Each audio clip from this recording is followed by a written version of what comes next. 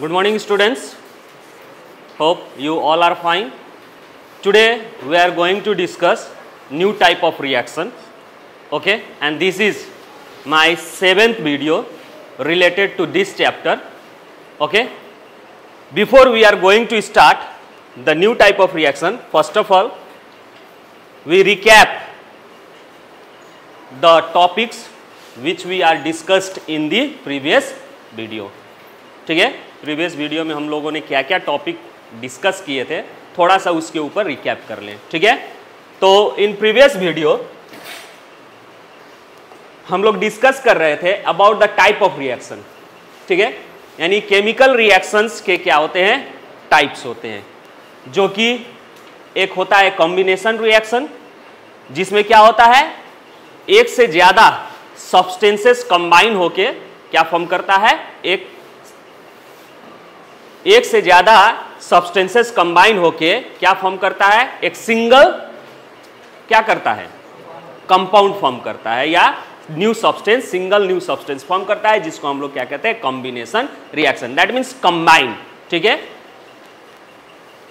That combination reaction is also known as synthesis reaction, उसको synthesis reactions भी कहा जाता है क्योंकि वो क्या होता है? सिंथेसाइज होता है और simply we can say that addition reaction भी कह सकते हैं क्योंकि दो चीज़ ऐड होके एक प्रोडक्ट बन रहा है, ठीक है?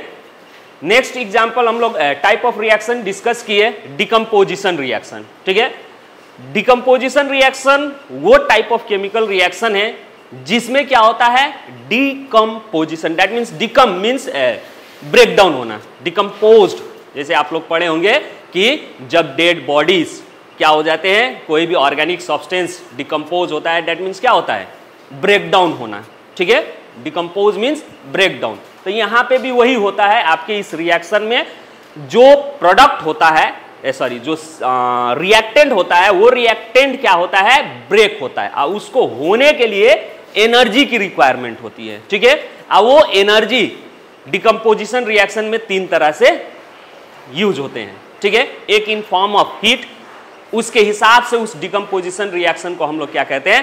Thermal decomposition reaction thermal means heat ठीक है? तो जहाँ पे हीट रिक्वायर्ड हो ब्रेकडाउन होने के लिए, उसमें हम लोग उस रिएक्शन को क्या कहते हैं? थर्मल डिकम्पोजिशन रिएक्शन सिमिलरली जिस प्रोडक्ट को ब्रेक करने के लिए, ठीक है इलेक्ट्रिक एनर्जी का रिक्वायर्ड हो, जैसे इलेक्ट्रोलाइसिस आप लोग पढ़े हैं, ठीक है? तो उस तरह के रिएक्शंस को हम लोग क्या कहते हैं? इलेक्ट्रोलाइटिक डिकम्पोजिशन रिएक्शन ठीक है? उस तरह के डिकम्पोजिशन रिएक्शन को क्या कहते हैं? इलेक्ट्रोलाइटिक डिकम्पोजिशन रिएक्शन जिसमें एनर्जी की रिक्वायरमेंट होती है। ठीक है? सिमिलरली जिस डिकम्पोजिशन रिएक्शन में अगर लाइट इस्तेमाल हो रहा है, ठीक है? सनलाइट का इस्तेमाल हो रहा है to break that substance into two और मोर कंपाउंड्स में ब्रेक करने के लिए सब्सटेंस में तो उस रिएक्शंस को हम क्या कहते हैं? फ़ोटो डिकम्पोजिशन रिएक्शन यानी डिकम्पोजिशन हो रहा है किसके कारण? तो लाइट लाइट मीन्स फ़ोटो तो इसीलिए उसका नाम क्या दिया जाता है? फ़ोटो डिकम्पोजिशन रिएक्शन उसके बाद हम लोगों ने डिस्कस किया डिस्प्लेसमेंट रिएक्शन यानी डिस्प्लेसमेंट रिएक्शन वो रिएक्शन है जिसमें एक एक्टिव मेटल्स उससे कम एक्टिव मेटल के कंपाउंड में से कम एक्टिव मेटल को क्या कर देता है? डिस्प्लेस कर देता है। That type of reaction is called displacement reaction और ये डिस्प्लेसमेंट रिएक्शन आपका क्या होता है? दो तरह का होता है। सिंगल डिस्प्लेसमेंट रिएक्शन जिसमें आपका क्या होता है? एक active metals less active metals के सॉल्ट से उसको क्या कर देता है? डिस्प्लेस कर देता है। और दूसरा क्या होता है आपका? Double displacement reaction double displacement reaction वो रिएक्शन है जिसमें क्या होते हैं? आयंस की ठीक है, दो कंपाउंड के आयंस का क्या होता है? एक्सचेंज होता है। दो कंपाउंड के आयंस का एक्सचेंज होता है। जैसे मान लीजिए, ये एक कंपाउंड है ए बी आइए, आपका दूसरा कंपाउंड है। ठीक है तो इसमें क्या होता है? आयंस का एक्सचेंज होता है। आयंस जब ये क्या होता है? डिसोसिएट होता है तो ये क्या होता है? ए प्लस और बी माइनस ठीक है? और ये C प्लस और D माइनस यानी ये कैटायन हो गया, ये एनायन हो गया, ये कैटायन हो गया और ये आयन एनायन हो गया. ये लोग क्या करते हैं? अपना एक्सचेंज करते हैं. दैट मीन्स ये जो है, यहाँ चला आता है और ये यहाँ आ जाता है. और इस तरह से एक एक्सचेंज करके न्यू सब्सटेंस फॉर्म होता है, जिसको हम क्या कहते हैं? एडी इस रिएक्शन के हिसाब से और बीसी सॉरी सीबी ठीक है? सीबी तो न्यू सब्सटेंस तो इस तरह का अगर जो एक्सचेंज होता है, उसको हम लोग क्या कहते हैं? डबल डिस्प्लेसमेंट रिएक्शन ठीक है? तो ये चीज़ हम लोगों ने डिस्कस किया। उसके बाद से आज हम लोग डिस्कस करने जा रहे हैं new type of chemical reaction that is exothermic and endothermic reaction exothermic reaction क्या है और एंडोथर्मिक रिएक्शन क्या है, उसके बारे में हम लोग डिस्कस करेंगे। तो जैसे एक्सोथर्मिक रिएक्शन वो रिएक्शन है ठीक है? Which produce energy are call exothermic reaction यानी एक्सोथर्मिक रिएक्शन वो रिएक्शन है, जब अगर कोई केमिकल रिएक्शन हो रहा है, और उसके साथ साथ आपके प्रोडक्ट जो फॉर्म होता है केमिकल रिएक्शन में क्या होता है? प्रोडक्ट फॉर्म होता है रिएक्टेंट रिएक्ट होके प्रोडक्ट फॉर्म कर रहा है। तो प्रोडक्ट के साथ साथ अगर हीट प्रोड्यूस हो रहा है तो उस तरह के रिएक्शंस को हम क्या कहेंगे? एक्सोथर्मिक रिएक्शन कहेंगे। जैसे मान लीजिए मान लीजिए कि ये आपका ए प्लस बी ये क्या हो गया? रिएक्टेन हो गया। अब ये रिएक्ट होके एक प्रोडक्ट बनाता है। एक बनाए, चाहे दो बनाए, ठीक है? प्रोडक्ट बनाता है। मान लीजिए वो प्रोडक्ट क्या हो गया? ए बी एक प्रोडक्ट आपका क्या हो गया? ए बी ठीक है? अब ए बी के साथ साथ अगर यहाँ पे हीट भी प्रोड्यूस हो रहा है तो हम इस तरह के रिएक्शंस को क्या कहेंगे? एक्सोथर्मिक रिएक्शन कहेंगे। ठीक है? इस तरह के रिएक्शंस को क्या कहेंगे? एक्सोथर्मिक रिएक्शन कहेंगे। ठीक है? तो वही चीज़ यहाँ पे। द अदर हैंड दूसरे तरीके से अगर कहें, ठीक है? दूसरे तो reaction in which absorbs energy are called endothermic reaction और दूसरे तरफ़ अगर देखा जाए तो जिस केमिकल रिएक्शंस में क्या होता हो? एनर्जी रिक्वायर्ड होता हो, यानी एनर्जी की रिक्वायरमेंट हो उस रिएक्शन को करने के लिए। डेट मीन्स एनर्जी एब्जॉर्ब करता हो रिएक्शन होने के पहले। तो उस तरह के रिएक्शन को हम क्या कहेंगे? एंडोथर्मिक रिएक्शन जैसे ठीक है? जैसे आपका मान लीजिए ए ठीक है? जैसे ए बी है, ये एक कंपाउंड है अब इसको आप क्या कर रहे हैं? रिएक्ट कर रहे हैं तो इसको रिएक्ट करने के लिए आपने यहाँ पे हीट सप्लाई किया। और हीट सप्लाई करने के बाद ये क्या हो गया? दो सब्सटेंस में चेंज हो गया सपोज़ डेट तो यहाँ पे अंतर क्या है? देखिए, ये प्रोडक्ट में हीट प्रोड्यूस हो रहा है। आइए रिएक्टेंट में ही हीट को हम लोग सप्लाई कर रहे हैं, तब जाके रिएक्शन हो रहा है कैरी ऑन हो रहा है। अगर हीट सप्लाई नहीं करेंगे तो रिएक्शन कैरी ऑन नहीं हो रहा है। तो इस केस को हम क्या कहेंगे? एंडो थॉर्मिक थॉर्मिक रिएक्शन इसको हम क्या कहेंगे? एंडोथर्मिक रिएक्शन इसमें क्या हो रहा है? यहाँ पे हीट प्रोड्यूस हो रहा है, इसीलिए इस तरह के रिएक्शन को एक्सोथर्मिक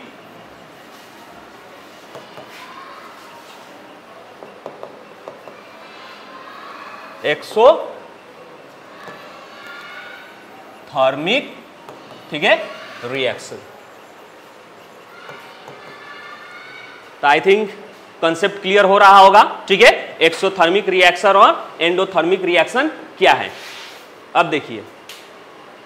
अब एग्ज़ाम्पल पे हम लोग जाएँ तो most of the combination reaction जितने भी कॉम्बिनेशन रिएक्शन हैं, लगभग, वो सब आपके क्या होते हैं? एग्ज़ाम्पल होते हैं एज अ एक्सोथर्मिक रिएक्शन यानी most of the combination reaction में आपका हीट प्रोड्यूस होता है। ठीक है? तो इसीलिए हम most of the combination reaction को जनरली हम क्या कर सकते हैं? एक्सोथर्मिक रिएक्शंस का एग्ज़ाम्पल बता सकते हैं।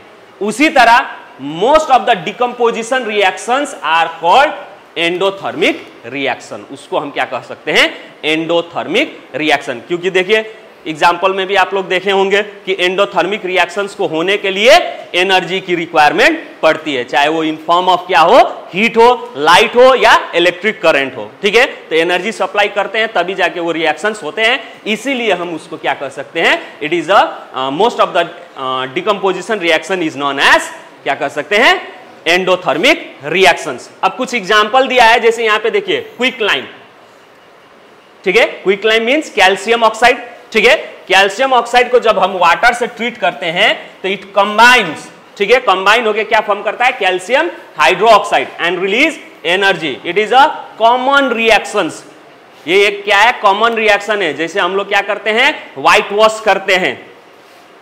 ठीक है? घर पे अब दिवाली, दशहरा का समय आ गया है तो चूना उना लगाते हैं। तो मार्केट से हम लोग क्या करते हैं? चूना लेके आते हैं। दैट इज़ कैल्शियम ऑक्साइड उसको लगाने के लिए हम लोग क्या करते हैं, उसका सोल्यूशन बनाते हैं तो पानी डालते हैं, ठीक है? पानी डालते हैं तो वो सोल्यूशन तैयार होता है तो सोल्यूशन तैयार होता है तो जो मिल्की कलर फॉर्म होता है that is what lime water ठीक है? वो क्या है? Lime water that means calcium hydroxide अब उसके साथ साथ बर्तन को थोड़ा सा टच करना, क्या पाओगे? हीट प्रोड्यूस पाओगे। वो बर्तन गर्म हो जाता है, जिसमें आप क्या किए हैं? उसको घोल बनाए हैं सोल्यूशन बनाए हैं, ठीक है, वो गर्म होता है। दैट मीन्स उस रिएक्शन में आपका हीट क्या हो रहा है? रिलीज़ हो रहा है प्रोड्यूस हो रहा है इवोल्यूशन हो रहा है। इसीलिए उस रिएक्शन को हम क्या कहेंगे?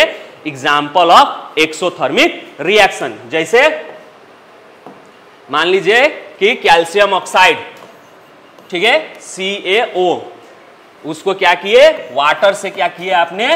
रिएक्ट किया। तो ये क्या रिलीज़ करता है? कैल्शियम हाइड्रोक्साइड इसको लाइम वाटर भी कहा जाता है मिल्की कलर ठीक है? लाइम वाटर लाइम वाटर के बारे में आप लोग सुने होंगे क्लास एट में भी पढ़े होंगे carbon test carbon test carbon gas है, बोल के कैसे टेस्ट किया जाता है? इसी पढ़े होंगे कि लाइम वाटर से जब कार्बन को कार्बन डाइऑक्साइड कार्बन टेस्ट नहीं कार्बन डाइऑक्साइड टेस्ट ठीक है? कार्बन डाइऑक्साइड जब लाइम वाटर से पार करते हैं तो मिल्की कलर चेंज होता है पढ़े थे ना? तो वही चीज़ है ये लाइम वाटर ठीक है? प्लस हीट प्रोड्यूस होता है। क्या प्रोड्यूस होता है? हीट ये एक तरह का क्या है? कॉम्बिनेशन रिएक्शन है। ये दो रिएक्टेंट रिएक्ट होके क्या फॉर्म हुआ है? सिंगल प्रोडक्ट अब यहाँ पे कंफ्यूज नहीं होना है। हीट प्रोड्यूस हो गया तो दो प्रोडक्ट हो गया। हीट क्या है? कोई सब्सटेंस नहीं आएगा। ठीक है हीट को हम सब्सटेंस नहीं कर सकते, इसलिए ये प्रोडक्ट में है, लेकिन इसको कंफ्यूज नहीं होना है कि ये दोनों रिएक्ट होके ये दो चीज़ बन गया। कॉम्बिनेशन रिएक्शन में सिंगल प्रोडक्ट बनता है, ठीक है? तो सिंगल प्रोडक्ट ही है, ठीक है? ये हीट तो क्या है, एक तरह का बाई प्रोडक्ट बाई प्रोडक्ट भी नहीं कर सकते प्रोडक्ट के नामे में नहीं होगा हीट प्रोड्यूस हो रहा है साथ साथ ये एक्स्ट्रा चीज़ है, ठीक है? लेकिन इसको आप क्या नहीं करोगे, कोई सब्सटेंस हीट को सब्सटेंस नहीं ना कह सकते हो। गर्मी है ये तो एक। ठीक है? एनर्जी है इसको आप क्या नहीं कह सकते हैं? सब्सटेंस नहीं कह सकते हैं, ठीक है? नाउ उसी तरह एंडोथर्मिक रिएक्शन का अगर एग्ज़ाम्पल देना हो तो जितना भी कुकिंग करते हैं हम लोग, ठीक है? कुकिंग इन्वॉल्व केमिकल रिएक्शन ठीक है? Which are the endothermic reaction ठीक है? Endothermic as cooking is possible because heat because of heating यानी जो भी हम पकाते हैं, उसमें अगर केमिकल रिएक्शन हो रहा है तो समझिए कि वो भी आपका क्या है? एंडोथर्मिक है। क्योंकि उसको करने के लिए क्या चाहिए? हीट सप्लाई कर रहे हैं। ठीक है? तो हीट नीडेड है। तो इसीलिए वो आपका क्या हो गया? एंडोथर्मिक रिएक्शन हो गया। और भी बहुत सारे इसके रिएक्ट एग्जाम्पल्स है जो कि हमारे डेली लाइफ में दिखाई देते हैं। एवरीडे लाइफ में दिखाई देते हैं। तो उसका हम कुछ झलक आप लोगों को दिखा देते हैं। जैसे examples of examples of exothermic reaction देखिए, जैसे कार्बन एंड ऑक्सीजन नेचर में रिएक्ट होते हैं, ठीक है? क्या फॉर्म करता है? कार्बन डाइऑक्साइड क्या फॉर्म करता है? कार्बन डाइऑक्साइड तो ये कब होता है? बॉन्डिंग ऑफ़ कोल कोल ये कार्बन क्या है आपका? कोल है, जैसे कोयला को हम लोग जलाते हैं यानी बॉन्ड करते हैं तो वो ऑक्सीजन के साथ ना रिएक्ट होता है। तो ऑक्सीजन के साथ रिएक्ट होकर कार्बन डाइऑक्साइड फॉर्म करता है। ठीक है? और साथ साथ क्या होता है? कोयला जलाते हैं तो हीट प्रोड्यूस होता है। ठीक है? तो वो आपका क्या हो गया? एक्सोथर्मिक रिएक्शन है। यहाँ पे हीट भी प्रोड्यूस होता है। ठीक है? कोयला जलाते हैं, आग लगाते हैं, आग जलाते हैं तो हीट भी प्रोड्यूस होता है लाइट भी प्रोड्यूस होता है। ठीक है? तो वो आपका क्या हो गया?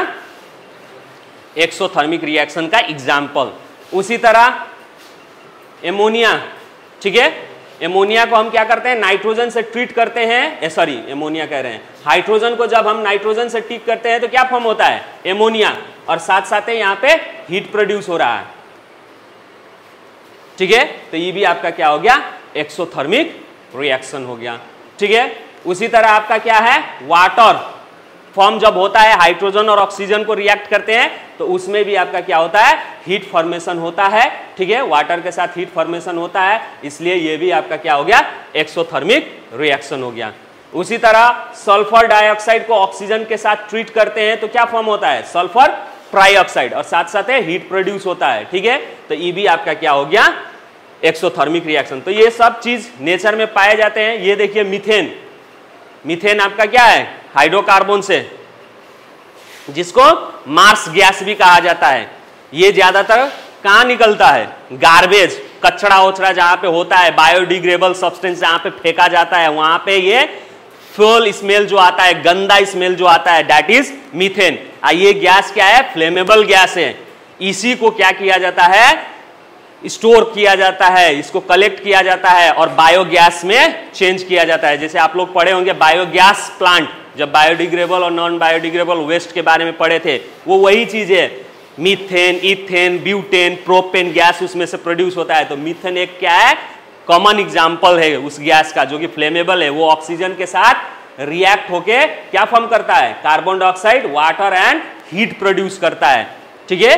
हीट प्रोड्यूस करता है। जितना एलपीजी गैस आप लोग देख रहे हैं, वो सब में बायोगैस है। बायोगैस प्लांट से उसको बनाया गया है। ठीक है?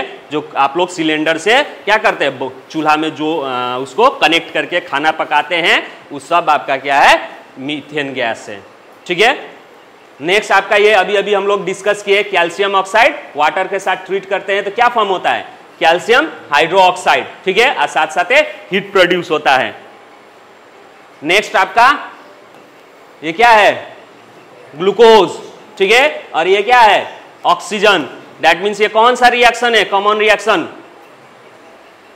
रेस्पिरेशन रेस्पिरेशन है ना जी? इसमें क्या होता है रेस्पिरेशन में आपका? एनर्जी फॉर्म होता है ना? And carbon dioxide energy and carbon dioxide और वाटर जब हम लोग क्या करते हैं? रिस्पायर करते हैं ब्रीथ करते हैं तो उस वक्त हमारा क्या होता है? बायोलॉजी में पढ़े हैं। ठीक है? क्या होता है? लॉन्ग से वो ऑक्सीजन क्या होता है? ब्लड में मिक्स हो गए बाया ब्लड मिक्स हो गए कहा जाता है? डिफरेंट टाइप ऑफ़ हर एक सेल्स में पहुँचता है। All the part of the cells body part के हर एक जगह पे पहुँचता है। और वहाँ पे जाके जो आपका ब्रेकडाउन होता है फ़ूड साइटोप्लाज्म और माइट्रोकोन्ड्रिया में, ठीक है? तो वहाँ पे क्या होता है आपका? ग्लूकोज के साथ ये ऑक्सीजन क्या होता है? रिएक्ट होके ब्रेकडाउन होता है और एनर्जी फॉर्म करता है in the form of ATP adenosine triphosphate सब बायोलॉजी में आप लोग पढ़े होंगे। तो वो भी एक क्या है आपका? ड्यू टू ये हीट फॉर्मेशन हम कह सकते हैं एनर्जी फॉर्मेशन ये भी एक आपका क्या है? एग्जाम्पल्स ऑफ़ एक्सोथर्मिक रिएक्शन ठीक है? नाउ नेक्स्ट कुछ एग्जाम्पल्स हो गए आपके? एंडोथर्मिक रिएक्शन ठीक है? एंडोथर्मिक रिएक्शंस के, जैसे इवापोरेशन ऑफ़ वाटर नेचर में होता रहता है photosynthesis baking of bread cooking of egg ठीक है? डिजॉल्विंग ऑफ़ वाटर ये सब एक जो कॉमन चीज़ है, हमारे चारों तरफ़ होता है। ये भी आपका एक क्या है? एंडोथर्मिक रिएक्शंस के एग्ज़ाम्पल हैं। जैसे यहाँ पे देखिए dissolving of salt in water जैसे मान लीजिए कि सॉल्यूशन क्या होता है? दो तरह का होता है सेचुरेटेड और अनसेचुरेटेड सॉल्यूशन जब मान लीजिए एक चम्मच चीनी डाल दिए, चाहे नमक डाल दिए ग्लास पानी में डिजॉल्व किए डिजॉल्व हो जाता है। फिर उसके बाद थोड़ा बढ़ाइए तो एक स्टेज आता है जहाँ पे वो क्या नहीं होता है डिजॉल्व नहीं होता है। उसको हम लोग क्या कहते हैं? That stage is called saturated state क्या कहते हैं? सैचुरेटेड अब डिजॉल्व नहीं होता है तो हम लोग क्या करते हैं? थोड़ा सा उसको हीट कर देते हैं। ठीक है, उस लिक्विड को हीट करते हैं तो वो क्या हो जाता है? डिजॉल्व हो जाता है। यानी वहाँ पे क्या हुआ? हीट का रिक्वायरमेंट हुआ। हीट हमने ऐड किया। तो एडिंग ऑफ़ हीट अगर हो रहा है तो वो क्या है आपका? एंडोथर्मिक रिएक्शन उसी तरह ये वाटर जैसे बारिश वरिश होता है, चारों तरफ़ पानी पानी है, ठीक है? तो अब धूप निकलता है तो क्या होता है? उसको हीट करता है पानी को। पानी को हीट करके वेपर में चेंज कर देता है, ठीक है? तो वहाँ पे भी आपका क्या हो रहा है? इवापोरेशन जो हो रहा है, उसके लिए रिक्वायरमेंट क्या चाहिए? हीट का रिक्वायरमेंट हो रहा है तो इसीलिए उसको भी हम क्या कह सकते हैं एक्सोथर एंडोथर्मिक ठीक है? उसी तरह यहाँ पे cooking of food cooking of food जैसे एग फ़ूड में आपका ये क्या है? एग है, ठीक है? इसको कुक करते हैं तो इसको कुक करने के लिए हमको क्या चाहिए? एनर्जी चाहिए तो वो प्रोसेस को भी हम क्या कहेंगे? एंडोथर्मिक ठीक है? उसी तरह बेकिंग ऑफ़ ब्रेड रोटी बनाते हैं जैसे यहाँ पे आपका क्या है? ब्रेड। ब्रेड यहाँ पे कौन सा ब्रेड है? पाव रोटी बन रहा है। चाहे घर पे चपाती बने, चाहे दाल भात जो भी बने, ठीक है? उस सब के लिए क्या होता है? एनर्जी रिक्वायर होता है। केमिकल चेंज उसमें भी होता है, ठीक है? तो उसको हम क्या कहेंगे? एक एंडोथर्मिक रिएक्शन, क्योंकि इसको होने के लिए एनर्जी की रिक्वायरमेंट है। आइए तो फ़ेमस रिएक्शन आपका क्या हो गया? शुरू से ही पढ़ते आ रहे हैं। प्लांट अपना खाना खुद बनाता है। ठीक है? प्लांट अपना खाना खुद बनाता है with the help of carbon dioxide और water in the presence of sunlight तो सनलाइट ये क्या है? एनर्जी है. तो वो C6H12O6 जो फ़ूड बनता है, उसको बनने के लिए क्या चाहिए? एनर्जी चाहिए. तो इसीलिए यहाँ पे ये फोटोसिंथेसिस भी आपका एक क्या है? एंडोथर्मिक रिएक्शंस का एग्ज़ाम्पल है. ठीक है? तो यहाँ पे आपका एक्सोथर्मिक और एंडोथर्मिक रिएक्शन कॉन्सेप्ट हमको लगता है कि क्लियर हुआ। ठीक है? नाउ नेक्स्ट अब दूसरा टाइप ऑफ़ रिएक्शन पे चलें। तो oxidation and reduction reaction oxidation और रिडक्शन रिएक्शन क्या है? ठीक है? तो इस रिएक्शन को हम तीन तरीके से समझ सकते हैं। ऑक्सीडेशन और रिडक्शन रिएक्शन को हम तीन तरीके से क्या कर सकते हैं? डिफाइन कर सकते हैं। तो पहले हम लोग ऑक्सीडेशन के बारे में डिस्कस करते हैं। ठीक है? ऑक्सीडेशन को हम वो प्रोसेस कह सकते हैं, अगर किसी प्रोसेस में द प्रोसेस इन विच किसी प्रोसेस में अगर ऑक्सीजन ऐड हो रहा है किसी सब्सटेंस के साथ, ठीक है? किसी सब्सटेंस के साथ ऑक्सीजन क्या हो रहा है? ऐड हो रहा है तो हम उस प्रोसेस को, उस रिएक्शंस को क्या कह सकते हैं? ऑक्सीडेशन कह सकते हैं। जैसे एग्ज़ाम्पल पे, देखिए, ये क्या है आपका? कॉपर कॉपर के साथ ऑक्सीजन को क्या किया गया है? ऐड किया गया है। तो प्रोडक्ट में देखिए कॉपर और ऑक्सीजन दोनों जुड़ गए हैं। कॉपर और ऑक्सीजन दोनों कंबाइन होके क्या फॉर्म किया है? कॉपर ऑक्साइड तो ये रिएक्शंस को हम क्या कहेंगे? ऑक्सीडेशन रिएक्शन कहेंगे। ठीक है? अगर दूसरे तरीके से ऑक्सीडेशन को समझे तो ऑक्सीडेशन वो प्रोसेस है जिसमें क्या होता है? हाइड्रोजन रिमूव होता है। अगर किसी रिएक्टेंट सब्सटेंस से हाइड्रोजन रिमूव हो जाए तो समझिए कि वो भी एक क्या है? ऑक्सीडेशन रिएक्शंस का एग्ज़ाम्पल है। जैसे यहाँ पे हाइड्रोजन सल्फाइड H2S क्या हो रहा है? ऑक्सीजन के साथ रिएक्ट कर रहे हैं तो यहाँ से हाइड्रोजन सल्फाइड से क्या हो रहा है? हाइड्रोजन रिमूव हो गया है। देखिए सल्फ़र अलग हो गया है। हाइड्रोजन रिमूव हो गया है अब जाके ऑक्सीजन के साथ यहाँ पे जुड़ा हुआ है। ठीक है? तो ये वाला जो है आपका यहाँ से यहाँ, ये आपका क्या हो गया? रिमूवल ऑफ़ हाइड्रोजन तो रिमूवल ऑफ़ हाइड्रोजन जहाँ पे हुआ, वो आपका क्या होगा? ऑक्सीडेशन रिएक्शन कहलाएगा। ठीक है? ऑक्सीडेशन रिएक्शन कहलाएगा। उसी तरह, तीसरा तरीके से अगर कहें तो जो सब्सटेंस क्या करता है? अपना इलेक्ट्रॉन लूज करता है। यानी जो सब्सटेंस अपना इलेक्ट्रॉन लूज करता है। और लूज करके क्या फॉर्म करता है? कैटायन फॉर्म करता है। तो समझिए कि वो क्या है? ऑक्सीडेशन जैसे जिंक, यहाँ पे जिंक ने क्या किया है? अपना इलेक्ट्रॉन को लूज किया है। ठीक है? जैसे देखिए, इसको हम समझा दें। या जिंक ने ऑक्सीजन कितना इसके आउटरमोस्ट सेल में दो होते हैं, ठीक है? तो ये दो इलेक्ट्रॉन लूज करेगा तो क्या फॉर्म करेगा? जेड एन प्लस टू ठीक है? तो ये दो इलेक्ट्रॉन लूज कर रहा है तो जो सब्सटेंस अपना इलेक्ट्रॉन लूज करता है, उसको भी हम क्या कहते हैं? ऑक्सीडेशन कहते हैं। उस रिएक्शन को भी, ये भी एक तरह का रिएक्शन हो रहा है, ठीक है? ये भी एक तरह का रिएक्शन है, जिसमें इलेक्ट्रॉन लूज हुआ, और क्या फॉर्म हुआ? जिंक आयन फॉर्म हुआ तो ये भी एक आपका क्या हो गया? ऑक्सीडेशन हो गया। ठीक है? अगर रिडक्शन को समझना हो तो reduction reaction just opposite to oxidation reaction होता है। Just opposite to oxidation reaction जैसे ऑक्सीडेशन में आपने क्या पढ़ा था? कि ऑक्सीजन ऐड हो तो हम उसको क्या कहते हैं? ऑक्सीडेशन हाइड्रोजन रिमूव हो तो उसको क्या कहते हैं? ऑक्सीडेशन लेकिन इसमें क्या होता है? ठीक उल्टा ऑक्सीजन रिमूव होता है। रिडक्शन में क्या होता है? ऑक्सीजन रिमूव होता है। उस तरह के रिएक्शंस को हम क्या कहते हैं? रिडक्शन रिएक्शन जैसे यहाँ पे देखिए पोटेशियम क्लोरेट के सी एल ओ थ्री यहाँ पे क्या हो रहा है? इसको जब हीट सप्लाई करते हैं हीट सप्लाई करते हैं तो ये क्या चेंज होता है? पोटेशियम क्लोराइड और ऑक्सीजन में चेंज हो जाता है। ठीक है? जब हीट करते हैं तो। ठीक है? तब यहाँ पे क्या हो गया आपका? यहाँ से ऑक्सीजन क्या हुआ है? रिमूव हुआ है ऑक्सीजन रिमूव हुआ तो हम क्या कहेंगे? इसको रिडक्शन रिएक्शन हुआ है कहेंगे। ठीक है? उसी तरह इस प्रोसेस में देखिए, दूसरा डेफिनेशन जिस प्रोसेस में, जैसे ऑक्सीडेशन में ऑक्सीजन ऐड होता था तो ऑक्सीडेशन कहते थे रिडक्शन में हाइड्रोजन ऐड होता है तो हम उसको क्या कहते हैं? Reduction reaction the process in which hydrogen is add ठीक है? The process in which hydrogen is add in a substance किसी सब्सटेंस में हाइड्रोजन ऐड हो तो उस रिएक्शन को भी हम क्या कहेंगे? रिडक्शन रिएक्शन जैसे यहाँ पे देखिए सोडियम के साथ हाइड्रोजन को जोड़ा जा रहा है तो प्रोडक्ट में हाइड्रोजन जुड़ गया है ना जी? सोडियम के साथ हाइड्रोजन जुड़ गया है तो इसीलिए इस रिएक्शन को भी हम क्या कहेंगे? रिडक्शन रिएक्शन कहेंगे। ठीक है? उसी तरह जब हम लोग ऑक्सीडेशन का रिएक्शन पढ़े तो उसमें जो सब्सटेंस अपना इलेक्ट्रॉन क्या करता है? लूज करता है, उसको ऑक्सीडेशन कहते थे तो ठीक इसमें उल्टा होता है। जो सब्सटेंस इलेक्ट्रॉन गेन करता है, ठीक है? गेन करके क्या करे? एनायन फॉर्म करे, या फिर न्यूट्रल हो जाए, उसको हम क्या कहते हैं?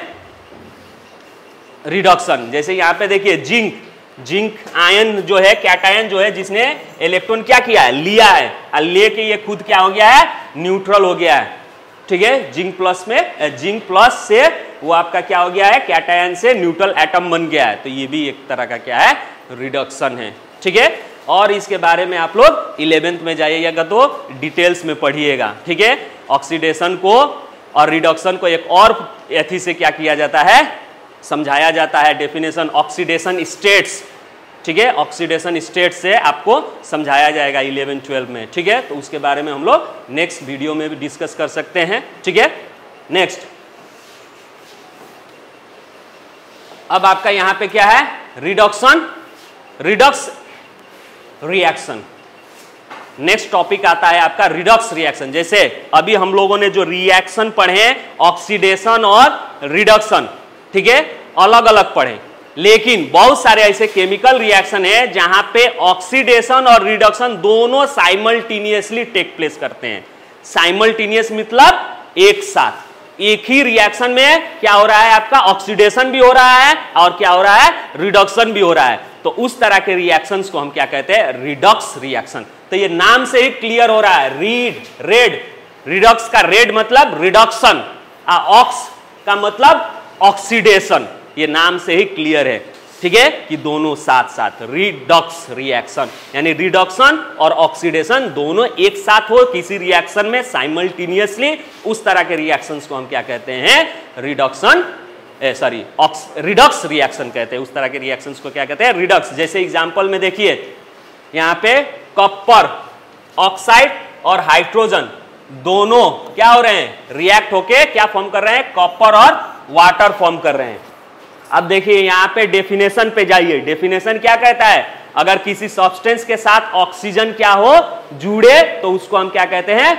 ऑक्सीडेशन तब यहाँ पे या फिर किसी सब्सटेंस के साथ ऑक्सीजन क्या हो जाए रिमूव हो जाए तो उसको क्या कहते हैं? रिडक्शन तो अब यहाँ पे देखिए, हमारा पहले कॉपर के साथ ऑक्सीजन था, लेकिन प्रोडक्ट में हम जा रहे हैं तो कॉपर हमारा अकेला हो जा रहा है। इससे ऑक्सीजन ने क्या कर लिया अपना?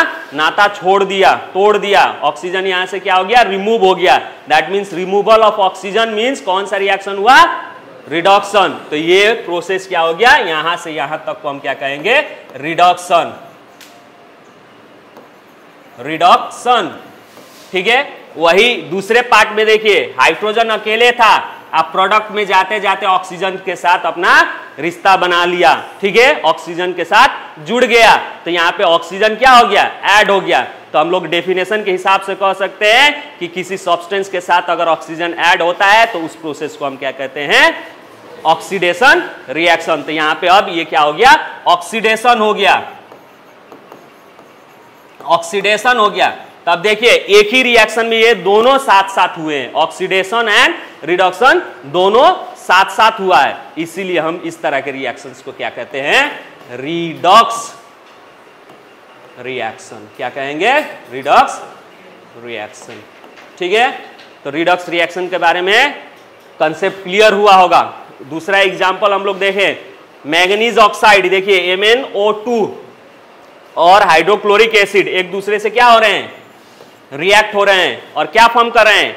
Manganese chloride chlorine and water तो आप यहाँ पे देखिए मैगनीज के साथ ऑक्सीजन था, लेकिन यहाँ से ऑक्सीजन अब क्या हो गया है? हट गया है। यहाँ से ऑक्सीजन क्या हो गया है? हट गया है। तो रिमूवल ऑफ़ क्या हो गया? रिमूवल ऑफ़ ऑक्सीजन तो क्या हो गया ये? रिडक्शन अब इस वाटर में हाइड्रोजन के साथ देखिए, यहाँ पे क्या हो रहा है? हाइड्रोजन के साथ ऑक्सीजन ऐड हो रहा है। तो हम इसको क्या कहेंगे? ऑक्सीडेशन। ठीक है?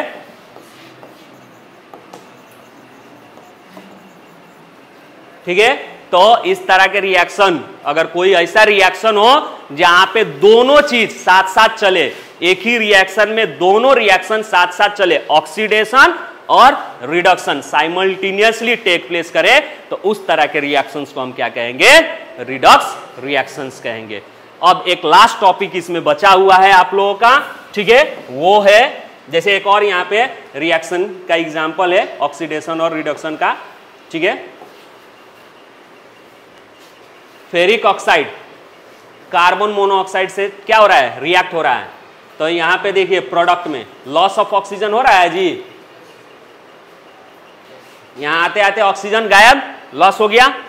प्रोडक्ट में है आयरन के साथ, लेकिन प्रोडक्ट में आते आते वो क्या हो गया? लॉस हो गया है तो ये क्या हो गया? रिडक्शन हो गया। अब वही आपका यहाँ पे देखिए ऑक्सीजन इसमें, ठीक है? एक है, लेकिन यहाँ आते आते ये कार्बन मोनोऑक्साइड से कार्बन डाइऑक्साइड हो गया। यानी एक और ऑक्सीजन क्या हो गया?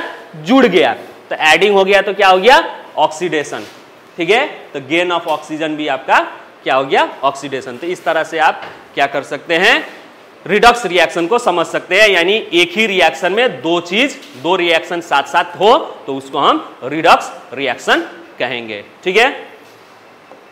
अब last oxidising agent and reducing agent ठीक है? ऑक्सीडाइजिंग एजेंट क्या है और रिड्यूसिंग एजेंट क्या है? रिएक्शन जहाँ हो रहा है, जैसे अभी आपने रिडक्स रिएक्शन देखा। ठीक है? उसमें क्या हो रहा था? ऑक्सीडेशन और रिडक्शन दोनों साथ साथ हो रहे थे। तो जो सॉब्सटेंस ऑक्सीडाइज हो रहा है, लेकिन किसके कारण हुआ? दो चीज़ मिलके हो रहा है ना? तो ये सपोज़ मान लीजिए कि ये ए है आई ये बी है, ठीक है? अब ये यहाँ जाके suppose that addition of oxygen suppose that हो रहा है, अभी इसमें नहीं बताया मान लीजिए कि ये ऑक्सीडाइज हो रहा है सपोज़ दैट तो ये किसके कारण है ऑक्सीडाइज हुआ? अगर ए खाली रहता तो ऑक्सीडाइज होता। नहीं होता। लेकिन ये बी के कारण यहाँ बी है, इसी के कारण ये ऑक्सीडाइज हुआ है। तो ये आपका बी क्या हो जाएगा? ऑक्सीडाइजिंग एजेंट यानी इसी ने, इसी के कारण ये ऑक्सीडाइज हुआ है। तो वही चीज़ यहाँ पे समझिए। ऑक्सीडाइजिंग एजेंट कॉजेस ऑक्सीडेशन यानी ऑक्सीडाइजिंग एजेंट वो है जिसने ऑक्सीडेशन कराया। यानी ऑक्सीडेशन रिएक्शन जिसके कारण हुआ, उसी को हम क्या कहेंगे? ऑक्सीडाइजिंग एजेंट और जस्ट ऑपोजिट रिड्यूसिंग में क्या करेंगे? कि जो रिड्यूस रिडक्शन कराया, जिसके कारण रिडक्शन हुआ, उसको हम क्या कहेंगे? रिड्यूसिंग एजेंट जैसे यहाँ पे एग्जांपल देखिए कॉपर ऑक्साइड और हाइड्रोजन जोड़ रहे हैं तो कॉपर क्या हो रहा है? अकेले हो जा रहा है. दैट मीन्स ऑक्सीजन हट जा रहा है. तो रिड्यूस हुआ ना? ये रिडक्शन हुआ? तो ये रिडक्शन किसके कारण पॉसिबल हुआ? अगर खाली ये, मान लीजिए कि ये नहीं होता हाइड्रोजन यहाँ पे तो ये लूज होता ऑक्सीजन साथ छोड़ता इसका? नहीं, लेकिन किस हाइड्रोजन के रिएक्ट होने के कारण ना इसने कार्बन सॉरी कॉपर का साथ छोड़ा? ठीक है, यहाँ पे कॉपर से अलग हो गया ऑक्सीजन ठीक है? तो इसीलिए हम इसको हाइड्रोजन को क्या कहेंगे? इस केस में रिड्यूसिंग एजेंट कहेंगे। ठीक है? सॉरी रिड्यूसिंग हुआ है तो ऑक्सीडाइजिंग एजेंट कहेंगे। ठीक है? यानी यहाँ पे ये क्या हो गया? ऑक्सीजन, यानी सॉरी देखिए, ये क्या हो रहा है आपका? रिड्यूस हो रहा है ना? तो किसके कारण हुआ? इसके कारण हुआ। ठीक है? रिड्यूसिंग हो रहा है ये। यहाँ पे रिड्यूस रिडक्शन रिएक्शन हो रहा है तो किसके कारण हुआ? तो इसके कारण हुआ। तो इसको हम क्या कहेंगे? रिड्यूसिंग एजेंट कहेंगे। क्या कहेंगे? रिड्यूसिंग एजेंट क्योंकि इसी ने इसको रिड्यूस कराया। क्लियर है ना जी? रिडक्शन हुआ। ये रिएक्शन क्या हो रहा है? Removal of hydrogen that means reduction इसको थोड़ा सा समझ लीजिए। ये रिडक्शन हुआ। किसके प्रेजेंस के कारण हुआ? तो इस हाइड्रोजन के प्रेजेंस के कारण हुआ। तो हाइड्रोजन आपका क्या हो जाएगा? रिड्यूसिंग एजेंट कहलाएगा। उसी तरह यहाँ हाइड्रोजन को क्या हो रहा है? ऑक्सीजन ऐड हो रहा है। तो यहाँ पे आपका क्या है ये? ऑक्सीडेशन हो रहा है। ऑक्सीडेशन। लेकिन किसके कारण ऑक्सीडेशन हो रहा है? तो ये कॉपर ऑक्साइड है। अगर ये कॉपर ऑक्साइड नहीं होता तो हाइड्रोजन वाटर में चेंज होता? नहीं। तो ये कॉपर ऑक्साइड के कारण क्या हो रहा है? ऑक्सीडाइज हो रहा है। ठीक है? तो इसीलिए कॉपर ऑक्साइड को हम क्या कहेंगे? ऑक्सी, ठीक है? डाइजिंग एजेंट। एजेंट मतलब माध्यम। आइए आपका क्या हो गया? हाइड्रोजन रिड्यूसिंग रिड्यूसिंग एजेंट ठीक है? समझ गए? क्लियर है ना जी? सब लोग? यानी रिड्यूसिंग एजेंट वो है जिसके कारण कोई सब्सटेंस क्या होता है? रिड्यूस होता है। तो इसमें आपका हाइड्रोजन रिड्यूसिंग एजेंट है क्योंकि कॉपर ऑक्साइड क्या हुआ है आपका रिड्यूस होके कॉपर फॉर्म हुआ है। आ, दूसरा आपका हाइड्रोजन यहाँ पे वाटर हुआ है that means hydrogen sorry hydrogen water हुआ है डेट मीन्स ऑक्सीडेशन हुआ। तो किसके कारण हुआ? तो कॉपर ऑक्साइड के कारण हुआ। तो ये ऑक्सीडाइजिंग एजेंट क्लियर तो यहाँ पे आप लोगों का चैप्टर भी फिनिश्ड होता है ठीक है? जो इसमें बचा हुआ है आप लोगों का हमारे इस साल के जो टर्म वन में आने वाले सिलेबस के हिसाब से आप लोगों का इतना ही इस चैप्टर में है, ठीक है? इफ़ेक्ट ऑफ़ ऑक्सीडेशन या इफ़ेक्ट ऑफ़ ऑक्सीडेशन जो आप लोगों के बुक में दिया है, वो आपके इस साल सिलेबस में नहीं है, ठीक है? तो कल के वीडियो में हम लोग इस चैप्टर के इंपोर्टेंस मल्टीपल चॉइस क्वेश्चंस के बारे में क्या करेंगे? डिस्कस करेंगे, ठीक है? तो आज के लिए बस इतना ही। Thank you have a nice day